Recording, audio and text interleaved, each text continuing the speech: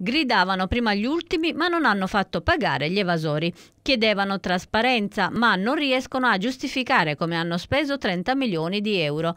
Invocavano prima lo sviluppo e il lavoro ma hanno speso 52 milioni di euro su 65 provenienti dalle royalty petrolifere in spese correnti invece che in investimenti. Hanno gonfiato le entrate, secondo la Corte dei Conti, per poter spendere di più e fare clientela.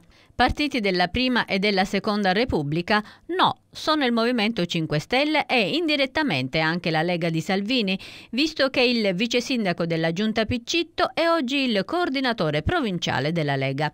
Ad affermarlo il Movimento Italia in Comune in una nota firmata da Gianflavio Brafa, Claudio Conti e Giuseppe Di Martino. Finora tutti hanno accusato il sindaco Piccito e l'assessore al bilancio per questo disastro, ma hanno dimenticato colui che era chiamato tra i 5 Stelle il badante del sindaco, il vice sindaco, vero uomo forte della giunta Movimento 5 Stelle. Come minimo è corresponsabile di questo disastro finanziario, osserva Italia in Comune. Ragusa è stato il laboratorio dell'attuale governo. Qui si sono incontrate due culture, quelle al governo nazionale oggi, unite solo dal potere e per nulla diverse dal passato, intolleranti verso il dissenso, assolutamente incapaci a gestire alcunché per mancanza delle più minime competenze. Dichiaravano di voler fare i Napoleone, la rivoluzione, ma sono finiti a fare i Metternich e i Talleyrand, la restaurazione.